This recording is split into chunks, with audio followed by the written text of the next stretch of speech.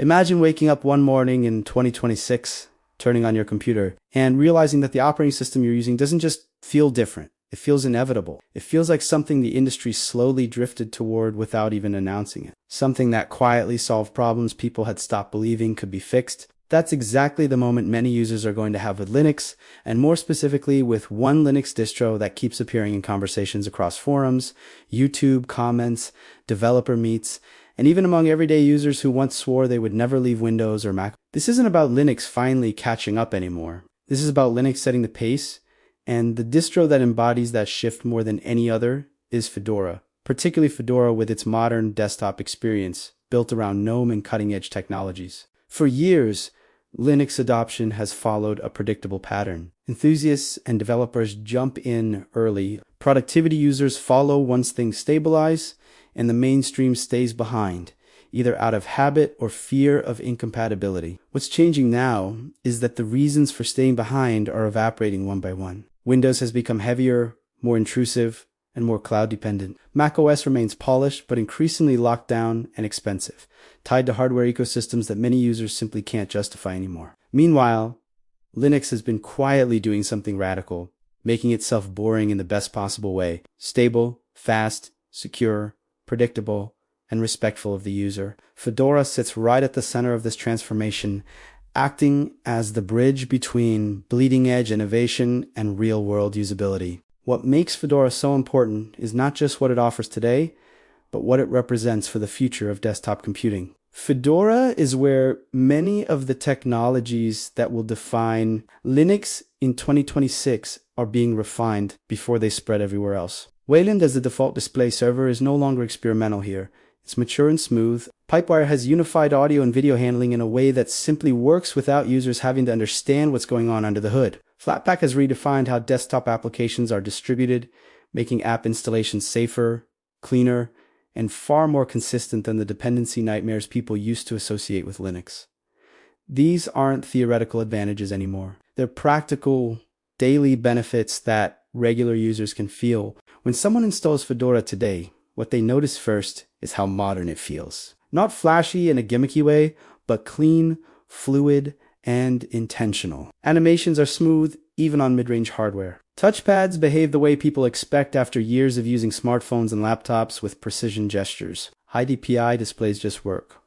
Fractional scaling is no longer a hack. Fonts render crisply. Power management on laptops has reached a point where battery life competes with, and sometimes beats, Windows on the same machine. For a long time, Linux desktops were criticized for feeling like collections of parts stitched together by enthusiasts. Fedora feels like a product, and that distinction matters more than people realize. Another reason Fedora is positioned to become the distro many people switch to by 2026 is trust. Fedora is sponsored by Red Hat, which means it benefits from enterprise grade engineering without being locked into enterprise constraints. Fedora itself remains free, open, and community but it also acts as the upstream testing ground for technologies that eventually land in Red Hat Enterprise Linux.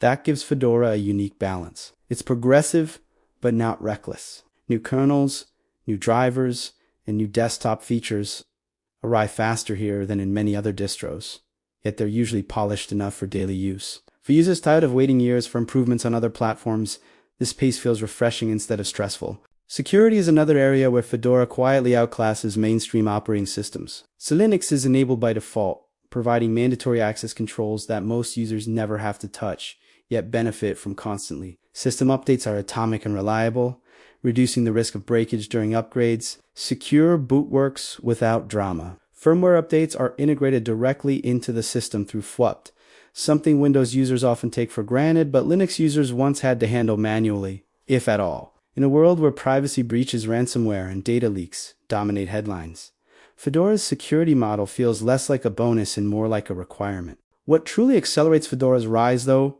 is how well it fits into the changing nature of work and creativity. Developers already love it because it ships with recent compilers, libraries, and container tools like Paint Toolbox, and these, these tools allow users to create isolated environments for development without polluting the base system, making Fedora ideal for both professional software development and hobbyist experimentation.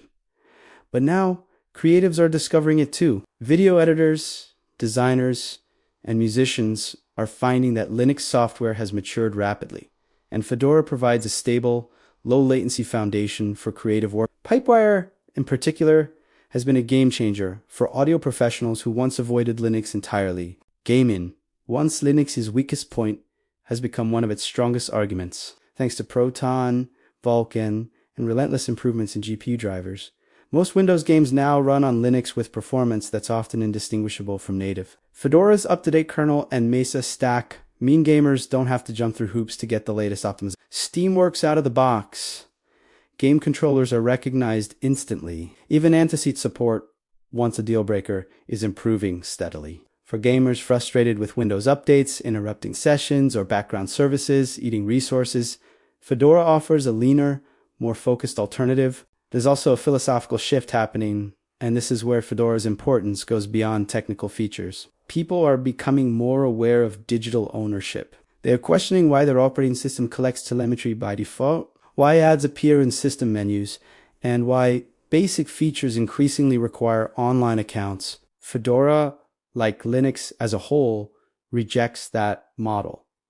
The user owns the system, there's no forced sign in, no hidden data collection, no artificial limitations. That sense of control resonates strongly with users who feel alienated by the direction of mainstream tech companies. Education is another sector where Fedora's influence is growing. Schools and universities are adopting Linux not just to save money, but to teach students how systems actually work. Fedora's documentation, transparency, and alignment with industry standards make it an ideal learning platform. Students who grow up using Fedora or similar distros won't see Linux as an alternative they'll see it as normal. By 2026, many of those students will be entering the workforce, bringing their preferences with them. One of the most compelling reasons Fedora is likely to become the distro people switch to is that it doesn't try to imitate Windows or Mac OS. Instead, it confidently defines its own workflow. GNOME's design philosophy focuses on minimizing distractions and encouraging focus, which aligns perfectly with modern productivity habits. At first, this feels different,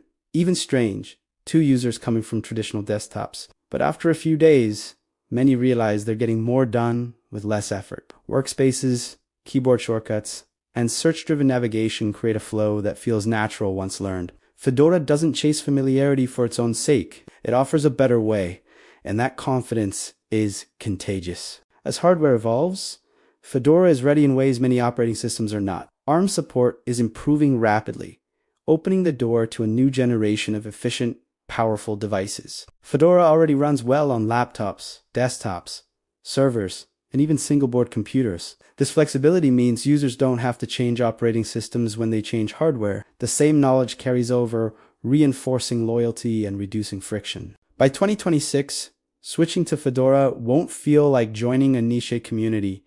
It will feel like making a sensible decision. Friends will recommend it. Tech channels will feature it not as an experiment, but as a daily driver. Businesses will deploy it on employee machines without fear. Parents will install it for their kids. Retired users will appreciate how it just works without nagging them for upgrades or subscriptions. Fedora's success won't come from marketing hype, but from quiet competence. Why this matters goes beyond Fedora itself. If a large number of users switch to Fedora, it sends a message to the entire industry. It proves that open source community driven software can compete with and even surpass proprietary giants. It encourages hardware manufacturers to improve Linux support. It motivates software developers to release native Linux versions of their apps. It shifts the balance of power back toward users, where it arguably belongs. The story of Fedora is ultimately the story of Linux growing up, not losing its flexibility or freedom, but refining it into something approachable without compromise. By 2026,